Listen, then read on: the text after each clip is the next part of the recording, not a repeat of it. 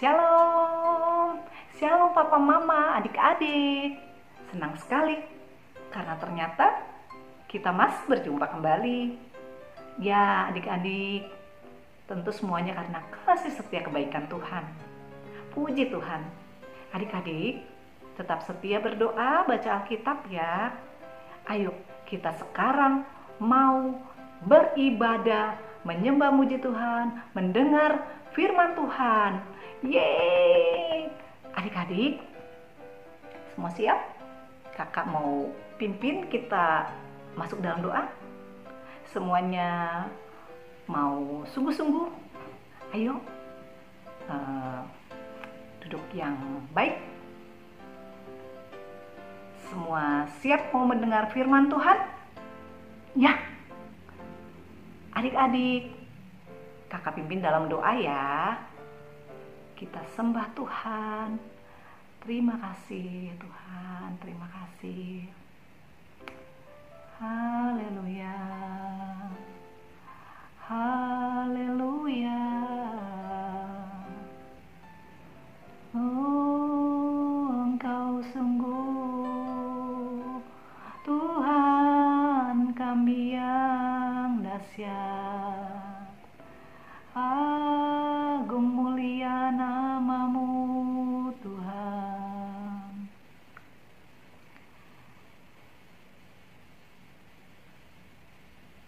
Terima kasih Tuhan Yesus.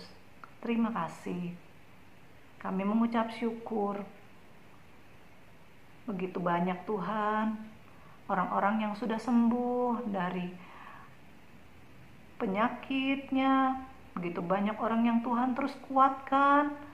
Tuhan sudah pulihkan dari penyakit virus corona. Ya Bapak, saat ini kami mau siap duduk diam mendengar firman-Mu. Biarlah Tuhan Engkau berkenan melihat, menerima sembah pujian kami. Ya Tuhan, biarlah Engkau melihat kami mau terus sungguh-sungguh Bapa menjadi anak-anakmu, menjadi pasukan Tuhan yang terus setia kepada Tuhan yang ajaib, Tuhan kami yang dahsyat. Mari Tuhan, tolong kami oleh kuat kuasa rohmu, pimpin setiap kami, duduk dengan tenang, dan semakin menyenangkan hatimu dalam hidup kami menjadi pelaku-pelaku yang menuruti firman Tuhan. Terima kasih Tuhan Yesus. Dalam nama Tuhan Yesus. Amin. Ya adik-adik, ayo. Ajak kakaknya, adiknya, papa mama. Kita mau siap masuk dalam ibadah. Selamat beribadah. Tuhan Yesus memberkati. Shalom teman-teman, yeay kembali lagi di gereja online kali ini. Hmm, masih kenal nggak siapa nama aku? Hmm, siapa yo? ya, aku JJ. Masih ingat tema bulan ini? Hmm? Ada yang tahu nggak? Nah, bener banget. Tema bulan ini adalah focus on new things. Wow, ayo pasti kalau yang ikutin ibadah dari saat minggu persa eh, ke satu sampai ketiga pasti tahu tuh artinya apa. Makanya kalian standby ya ibadah kali ini ya supaya kalian dapat mengerti dan mendapat pengurapan baru. Selama ibadah, ingat kalian mesti ngapain? Ayo. Ibadah yang sungguh-sungguh, jangan main-main? Kalian harus ibadah seperti kalian ibadah di gereja. Ajak papa mama kalian, kakak, adik semuanya. Kita ibadah bersama, memuji dan menyembah Tuhan.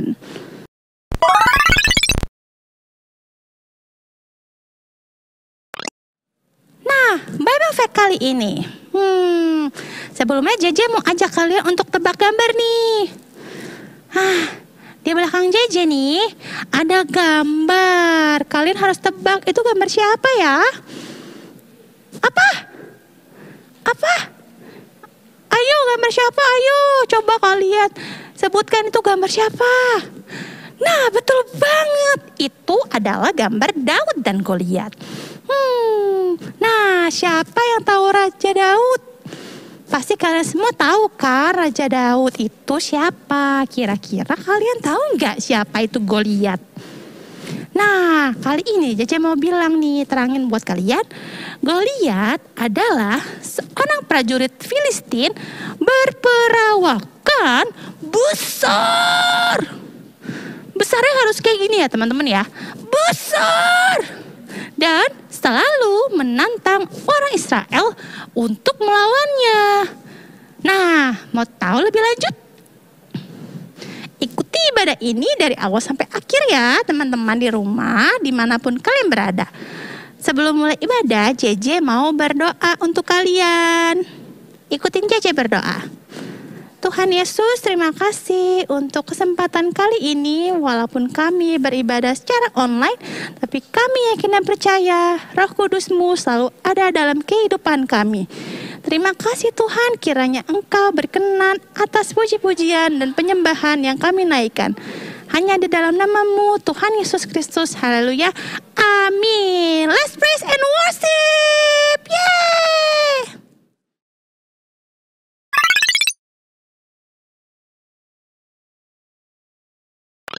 Shalom teman-teman. Apa kabar kalian semua? Pastinya baik dong. Amin. Selalu baik dan Jo. Yes, pastinya J. Karena Tuhan Yesus selalu baik untuk kita semua. Oh iya J, aku mau cerita nih. Apa tuh Jo? Nah, aku tuh deg-degan banget pas sekolah offline J. Kan sekolah aku udah mulai masuk offline. Aku tuh takut kalau kita ke dunia luar nanti aku kenapa-napa. Hmm, Aku takut banget karena aku lihat di TV tuh J. Apalagi sekarang kalau aku lihat berita-berita dunia ini makin terlihat jahat. hmm, iya bener banget Jo. Awal-awal sekolah offline nih, Jo teman-teman, aku juga takut deg-degan, takut ini itu. Apalagi kan sekarang masih pandemi, masih terus berjalan sampai sekarang. Berita-berita di TV mengenai dunia juga semakin jahat, tapi kita nggak boleh takut Jo, karena kita punya Tuhan Yesus yang hebat. Dia kan selalu ada dalam kehidupan kita. Iya bener banget sih J. Iya Jo, walau kamu takut ke sekolah offline gak apa-apa kok. Itu emang biasa. Kamu gak boleh takut selama kita jaga protokol kesehatan. Rajin cuci tangan. Pakai apa Jo? Masker dan hand sanitizer. Apa sih? Nah, Bacaannya? bener. Hand sanitizer. Kamu mah gitu gak bisa bahasa Inggris. Maafin aku J.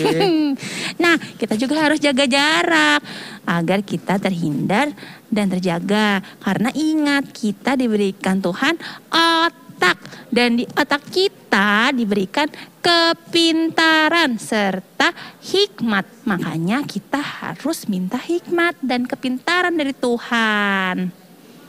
Aku setuju banget sama kamu J. Selama kita bisa jaga diri kita ini, Kita ini ya, Iya, jawab bener oke. kan? Nah, oh iya, aku jadi teringat oleh kisah Daud dan Goliat nih. wah apa tuh J? Ah, kamu mau dengar? Mau banget J. Teman-teman juga mau denger gak? Pastinya mau dong. Nah, ya udah, kita siapin semua alat tulis, buku catatan dan Alkitab kalian ya. Oke oke J, aku sudah siap. Mari teman-teman kita berdoa. Iya, berdoa. Tuhan Yesus, terima kasih karena Engkau masih selalu beserta dengan kami. Karena anugerahmu selalu ada dalam kehidupan kami. Berikan kami hikmat dan kepintaran, serta telinga yang mendengar dan hati yang baik, agar kami dapat mengerti firman-Mu. Hanya di dalam nama Tuhan Yesus, haleluya, amin. Amin. Nah teman-teman, di rumah udah siap belum? Kamu udah siap Jo? Sudah dong J. Oke, nah begini teman-teman. Kisah Daud dan Goliat ini ada di 1 Samuel 17. Kalian bisa baca nanti di rumah bersama keluarga kalian ya. Nah, begini cerita firman Tuhan. Di tanah Israel hiduplah seorang nabi bernama Samuel. Siapa namanya? Samuel. Ah, benar. Nah, Tuhan menyuruh Samuel pergi ke Bethlehem, di mana dia akan menemukan seorang anak laki-laki bernama Daud. Tuhan menyuruh Samuel untuk mengurapi Daud sebagai raja baru Israel. Uh, dia jadi raja teman-teman. Ia harus menggantikan Saul sebagai raja karena Saul telah berpaling dari Tuhan. Pada waktu itu Saul dan orang-orang Israel berkemah di lembah Elah. Apa aja? Lembah Elah. Ah betul, teman-teman lembah Elah jangan lupa dicatat ya. Di mana mereka bersiap-siap untuk melawan tentara Filistin. Saudara-saudara Daud termasuk di antara orang-orang Israel. Jadi Daud pergi ke lembah untuk membawa lebih banyak makanan dan perbekalan kepada saudara-saudaranya. Saat dia berdiri di atas bukit yang menghadap ke lembah, dia bisa melihat kedua pasukan di kedua sisi. Ketika Daud tiba di saudara-saudaranya, dia menemukan mereka bersembunyi dari tentara Filistin yang menakutkan. Orang Filistin adalah pejuang yang hebat dan banyak jumlahnya. Selama 40 hari mereka meneriaki orang-orang Israel, menyebut mereka pengecut. Dalam tentara Filistin ada seorang pria bernama Goliat.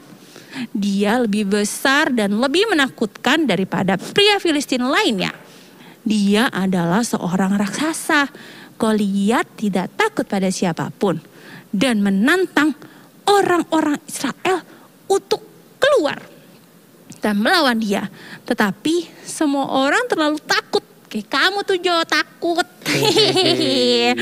nah siang dan malam Goliat mengolok-olok Allah Israel dan tentara Saul. Ketika Daud bersama saudara-saudaranya, dia melihat Goliat keluar dan dia mendengar hinaannya. Daud tidak bisa mempercayainya. Sekarang Daud adalah seorang pemuda pemberani dan dia mengasihi Tuhan. Dia tidak tahan lagi mendengar Goliat menghina Tuhan atau umatnya tersiar kabar tentang pertanyaan Daud tentang Goliat dan Raja Saul memanggilnya. Dengan keberanian yang besar, Daud memberitahu Saul bahwa dia akan melawannya. Saul tahu bahwa Tuhan menyertai Daud. Jadi dia menyetujui permintaan Daud. Saul membekali Daud dengan baju zirahnya, pedangnya, dan perisainya. Tetapi semuanya itu terlalu berat Daud bahkan tidak bisa berjalan. Pada akhirnya Daud memutuskan untuk melawan Goliat dengan ketapelnya, Jo. Teman-teman, satu-satunya senjata yang digunakan dia sebagai gembala. Daud pergi keluar mengambil lima batu. Ada berapa? Lima batu. Lima, coba Coba bikin angka 5 di rumah. Bagaimana ya teman-teman 5. Nah 5 batu dan berjalan menuju Goliat. Goliat menertawakan Daud. Hmm, apakah bisa ya? Hmm, Goliat pasti udah ngata-ngatain Daud ya. Hmm, sedih. Roh Tuhan turun ke atas Daud dan memberinya kekuatan dengan keberanian dan Daud memberinya kekuatan dengan keberanian dan keberanian untuk melawan raksasa itu. Daud tahu dia tidak bisa melakukan ini sendiri. Jadi dia percaya Tuhan akan memberinya dan Israel kemenangan. Saat Goliat menyerang Daud, Daud berteriak, "Kamu datang kepadaku dengan pedang, tombak, dan perisai, tetapi aku datang kepadamu dalam nama Tuhan semesta alam, Allah tentara Israel yang telah kamu tentang. Nah, Daud mengambil ketapelnya, memasukkan salah satu dari lima batu dan mulai mengayunkan ke arah Goliat. Saat Goliat mendekat, Daud melepaskan batu itu dengan kekuatan besar dan mengenai Goliat di tengah dahinya Jo teman-teman. Wah, apa yang terjadi selanjutnya J? Hah, seketika raksasa itu jatuh ke tanah di wajahnya dan mati. Hari itu Tuhan memberi Daud dan Israel kemenangan.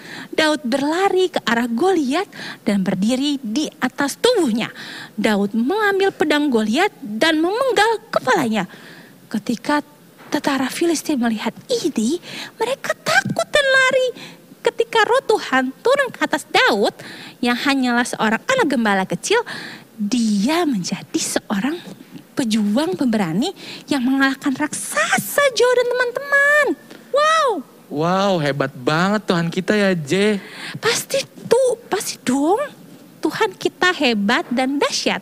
Dari pelajaran Daud kita bisa mengambil pelajaran bahwa sebesar apa pun masalah dan ketakutan kita, kita harus tetap ingat bahwa Tuhan kita dahsyat dan ajaib.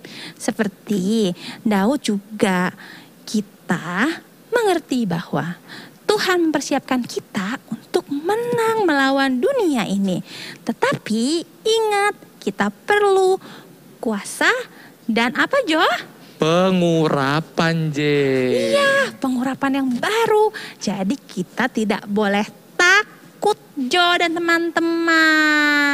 Wah, terima kasih J untuk cerita firman Tuhan kali Sama-sama ini. ya. Gimana teman-teman semua? Diberkati oleh firman Tuhan? Pastinya dong. Yuk kita sama-sama berdoa. Tuhan Yesus yang baik, terima kasih atas berkat dan kasih karuniamu dan cerita firmanmu kali ini. Tuhan, berikan kami selalu hikmat, kepintaran hati yang baik, supaya kami dapat selalu menyenangkan hatimu. Tuhan, jadikan kami seperti Daud agar kami dapat berani karena engkau selalu beserta dengan kami Tuhan. Juga bantu kami untuk mempersiapkan diri kami untuk menang melawan dunia ini. Dan urapi kami selalu ya Tuhan. Tuhan juga berkati keluarga kami dan kami di sekolah. Kami yakin dan percaya bahwa Engkau juru selamat kami yang hidup. Hanya di dalam nama Tuhan Yesus. Haleluya. Amin. Oh iya Jo, kita aku baru ingat nih. Ini kan akhir bulan. Eh, iya, biasanya Jo. apa tuh ya Jo? Akhir bulan biasanya apa ya Jo? Kita celebrate apa ya? Ulang tahun J. Nah betul, kita harus Yeay. rayain ulang tahun teman-teman kita di bulan November. Kamu mau ikut jadi bareng aku Jo? Ikut dong J. Oke, teman-teman juga. Harusnya dong. Yuk, kita bareng-barengnya happy birthday ya. Satu, dua, tiga. Happy birthday to you. Happy birthday to you. Happy birthday, happy birthday, happy birthday to you. Yeay. Selamat ulang tahun teman-teman di bulan November. Semuanya, Tuhan Yesus memberkati.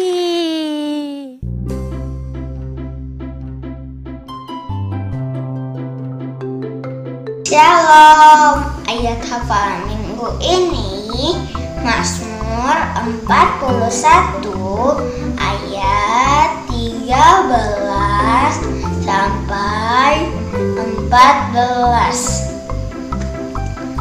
Tetapi aku engkau menopang aku karena ketulusanku Engkau membuat aku tegak di hadapanmu sampai selama-lamanya. Terpujilah Tuhan Allah Israel dari selama-lamanya sampai selama-lamanya. Amin ya amin. God bless us. Nah, adik-adik, kakak juga nggak mau lupa nih. Kakak mau berdoa buat adik-adik yang berulang tahun di bulan November ini. Kakak mau berdoa buat kalian semua. Kamu yang merasa berulang tahun di bulan November, yuk bangkit berdiri. Angkat kedua tanganmu, kakak akan berkati dari sini. Kita akan terima berkat dari Tuhan dan kakak akan mendoakan kamu semua. Yuk kita berdoa. Bapak kami mengucap syukur Tuhan Yesus buat teman-teman kami, adik-adik kami, anak-anak kami yang Tuhan berikan berkat lagi di tahun ini, di bulan ini Tuhan yang berulang tahun di bulan November ini Bapak. Kami berdoa buat mereka semua Tuhan. Tuhan pakai hidup mereka, masa depan mereka Tuhan sediakan yang terbaik.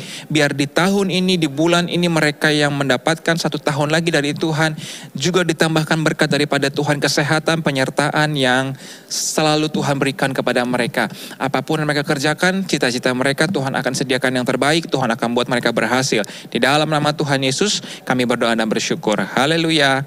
Amin. Selamat ulang tahun buat adik-adik yang berulang tahun di bulan ini. Tuhan Yesus memberkati kita semua.